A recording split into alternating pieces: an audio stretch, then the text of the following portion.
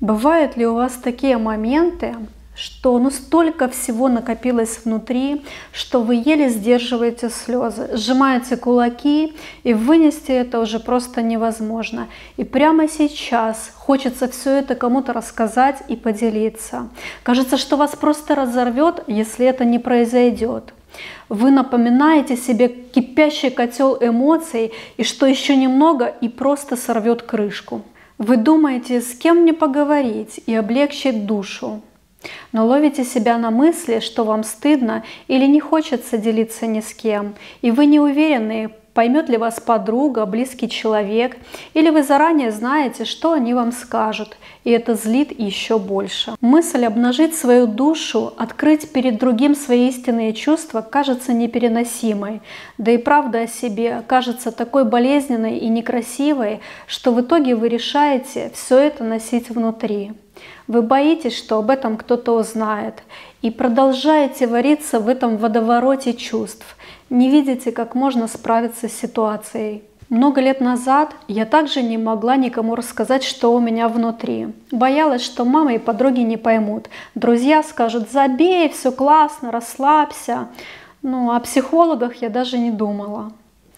Но мне было очень плохо. Я больше не могла носить все в себе и не знала, что делать. Когда напряжение достигло пика, ко мне совершенно спонтанно пришла идея просто рассказать все, что у меня внутри, самой себе. Я взяла свой обычный фотоаппарат-мыльницу с функцией видеозаписи и нажала кнопку. Я сидела одна в пустой квартире и начала не смело и с трудом рассказывать все, что у меня на душе, что тревожит, что доставляет боль. У меня полились слезы, тушь потекла. Я не останавливалась и продолжала, и мои слезы перешли в рыдание и всхлипывание. Я говорила все не тая, и за что виню себя, и на кого и за что я злюсь, и почему мне стыдно, и как мне плохо, и как все это несправедливо, и как мне страшно и одиноко. Я задавала свои важные вопросы кому-то невидимому и не могла остановиться. Достигнув пика рыданий, я проговорила вслух на камеру все то, что так долго жило во мне. И через какое-то время я почувствовала облегчение и что мне сказать больше нечего. Я переписала видео на ноутбук и решила его пересмотреть вечером. Теперь я глядела на себя со стороны, словно наблюдатель, и видела перед собой девушку, которой у меня было много сочувствия. Я понимала все, о чем она говорит, но во мне появилось что-то новое – и уже теперь я начала сострадать этой девушке на видео, но у меня уже было ощущение, что это не совсем я, вернее я в прошлом. Я снова расплакалась, но уже не так мощно. На следующий день я решила еще раз пересмотреть видео. И сначала все еще плакала, но где-то раз через пять я обнаружила, что мне больше не хочется плакать. Моя душа словно омылась слезами и очистилась. Я выплакала все, что хотела, все, что во мне накопилось.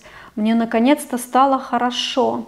Я словно освободилась от тяжелого груза и отпустила свое прошлое и боль. Просто приняла. Да, это было со мной. Это моя история. И теперь у меня есть силы перевернуть эту страницу и идти дальше. Я была поражена эффектом этой своеобразной исповеди перед самой собой. Я жила, во мне проснулась новая энергия. Кроме того, у меня стали появляться идеи, как и куда мне двигаться дальше. Таким образом, я помогла сама себе и исцелила какую-то часть моей души и психики. Какое-то время я пользовалась этим методом, и он мне замечательно помогал. Я выговаривалась, смотрела на себя со стороны, освобождалась от негативных переживаний, и в итоге мне приходили новые решения. Потом я перестала это делать и забыла, потому что у меня уже появился свой психолог, и я делала то же самое уже на терапии. И вот совсем недавно я снова оказалась в ситуации, где захотела быстро прожить свои чувства, разобраться, что происходит, и мне было важно посмотреть на себя со стороны. И опять Мне это так открыло глаза, я вспомнила, что я уже много лет назад, я так и делала, и это мне очень сильно помогло, когда рассчитывать было не на кого, и других вариантов я не видела. Тогда ко мне даже приходила идея записать видео на эту тему, но я ее проигнорировала. И вот, наконец, я решила поделиться этим опытом и замечательной техникой самопомощи. Итак, что же делать, если вы прямо сейчас столкнулись с ситуацией, которую не с кем разделить? Вы не можете или не хотите ее обсуждать ни с подругой, ни с близкими, ни с психологом. Вам страшно, больно и стыдно в этом признаться кому-то другому. А носить в себе вы это уже просто не можете. Я предлагаю попробовать вам технику самопомощи. Для себя я ее называю видеотерапия, разговор с собой. Также эта техника подойдет, если вам прямо сейчас нужно принять сложное решение, вы перед выбором и не знаете, как поступить, не видите вариантов, ну а те, что видите, вам не подходят. Сама техника очень простая. Для этого надо найти время и место, где вас точно никто не побеспокоит. И желательно, чтобы в квартире или на природе никого рядом не было. Надо исключить, чтобы кто-либо вас мог услышать, увидеть, и вы себя не ограничивали. Берете телефон, включаете режим съемки селфи-видео и начинаете искренне и честно говорить все, что у вас сейчас внутри. Если вы начали плакать, не надо этого стыдиться и подавлять. Дайте слезам и чувствам течь. Скажу более, чем лучше поплачете, тем лучше будет эффект очищения и освобождения. Если слез нет, все равно продолжайте говорить. Позвольте себе быть такой, какая вы есть в этом состоянии. Когда почувствовали, что выговорились и все сказали, можете пересмотреть видео через какое-то время и отследите свои чувства, изменились ли они, как вы чувствуете себя сейчас. Пересматривайте видео до тех пор, пока не почувствуете, что достаточно и больше в вас это не вызывает прежних эмоций и вы осознали что-то важное. Если ситуация очень сложная и эмоционально сильно заряженная, то повторный просмотр вызывает еще больше слез и поднимает более глубоко спрятанные чувства и эмоции. И вот важно себя не останавливать и продолжить этот процесс. Наблюдайте за тем, как меняется ваше состояние. Ловите инсайты, которые вам пришли.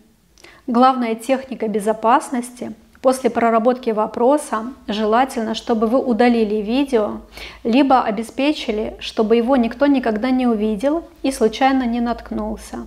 Это только ваше личное. Что вы получите в результате этой практики?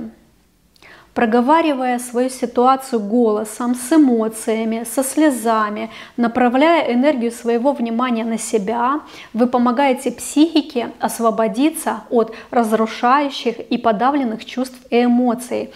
Запускается процесс самоисцеления психики, и вы почувствуете невероятное облегчение. Вы становитесь как будто наблюдателем, начинаете видеть себя со стороны, как говорил Эйнштейн, проблема не решается на том уровне, на котором возникла.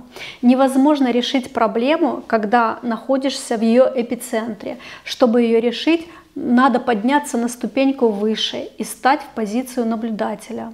Через какое-то время ваша исцеленная психика сама предложит вам лучшее решение вашей ситуации, и у вас появится новый взгляд на проблему вы начинаете видеть свою роль и игру, в которую играете, и выбирать, хотите ли вы играть в нее дальше.